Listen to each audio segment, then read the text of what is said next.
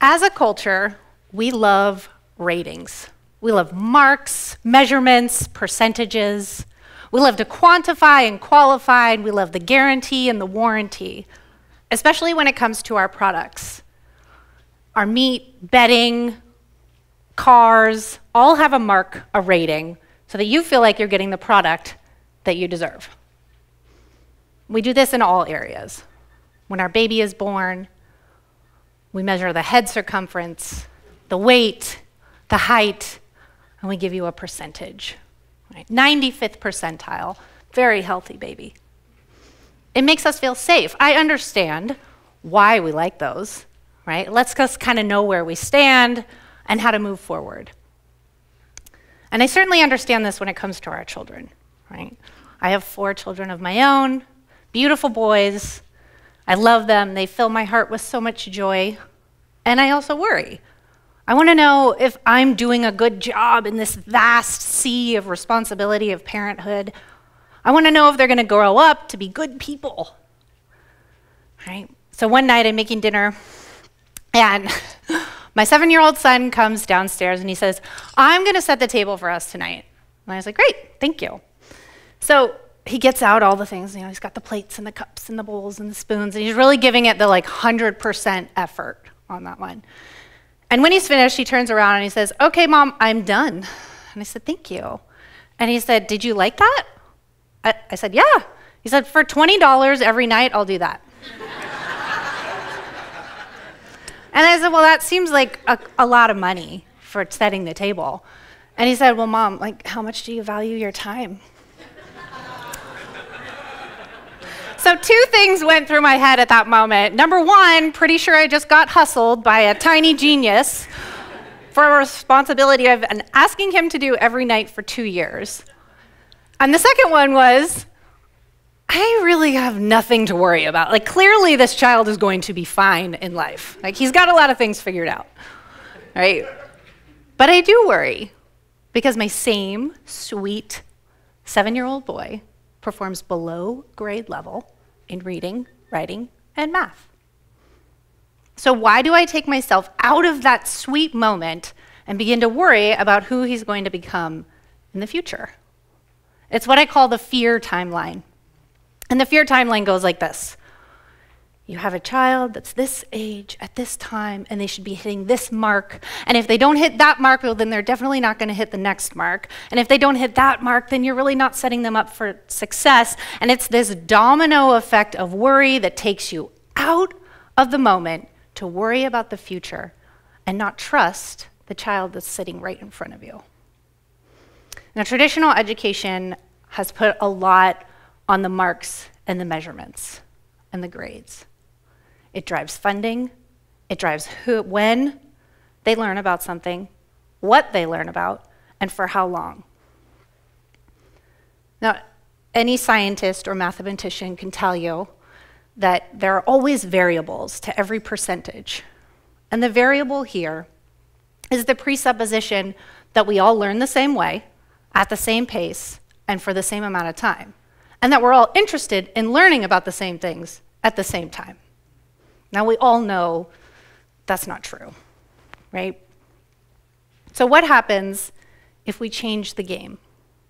What happens with if we say, instead of, here's what you're going to learn for how long, and in this way, we say, what do you want to know about? What are you really curious about? Where can you find out more information about that? And then also, how are you going to share that information with others?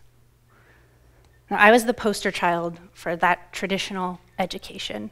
I was very eager to get up in the morning and come to school and sit and listen and take it all in and regurgitate it on the right day at the right time, and I loved the feedback. I loved knowing where I stood. I wasn't really concerned about going back and correcting the answers that I may have gotten wrong. I was good with my like 90%. Cool. I played that game very well, and after 12 years, I had, a, I had played the game very well for 12 years and then had the opportunity to go to a four year university of my choice. And after one year, I left. I was a very highly rated educational product with no real world experience. I didn't really know who I was, I didn't really know what I liked to learn about, and I didn't really know how to navigate the world around me. Now, everyone loves a good dropout story, right? we do. We have Albert Einstein, Thomas Edison, Steve Jobs, Oprah Winfrey, like highly successful people who ditched whatever educational institution they were at to go follow their passion. And we love these stories because we know that they're true. We believe somewhere inside that if you are curious and you are engaged, that you will try harder, you will try better, you will fail, but you will continue to get back up again because we know that that real world hands on experience is truly the best teacher. We learn to roll over, sit up, crawl, and then walk. No one gives us instructions on how to do that. No, one's, no one stands above you and says, okay, now do this, and now do this. And we don't do it all on the same timeline at all. All of that happens on our own personal timeline. So we may not need instruction, but we absolutely need somebody who will hold our hand, encourage us when we fall, and celebrate with us when we take those next big steps. So don't get so concerned with following the grades and the timeline that you miss the boundless potential of a personal growth timeline. It takes a lot of time to learn who you are. It's a very important skill. The average adult in the US in 2021 has had seven careers. So, can we please disrupt the narrative that the entire purpose of learning in childhood is to grow up and get a good job?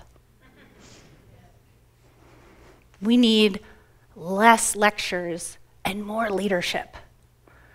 We need less talking and more student leading. The current job market today requires ingenuity, creativity, leadership, teamwork, right? It doesn't require us to sit in a desk by ourselves and be tested on our knowledge in the next few weeks. We're not going off to the factories any longer. We're not holding a job for 30 years. We are forever changing in an ever changing world. We're forever learning and growing. So, the best educational environments today are the ones that engage these students on a journey of learning about who they are, the process of finding out what they're interested in and what they're passionate about, what they love to learn about, how to manage their time, how to set goals and achieve them, how to be, how to be peer leaders, how to be on a team, how to have constructive feedback. A lot of us as adults can't stand to hear negative feedback as, from, our, from our peers, right? But what if we started doing that when we were just six and seven years old? What if we learned how to give positive feedback, encourage growth to one another? let's give this next generation some immeasurable skills that they can take out into the world. Let's teach them accountability, responsibility, independent thinking. Let's give them courage to grow and change and be more than expectations, to, be, to exceed and excel beyond the measures. We don't need to create an educational product of marks and measures.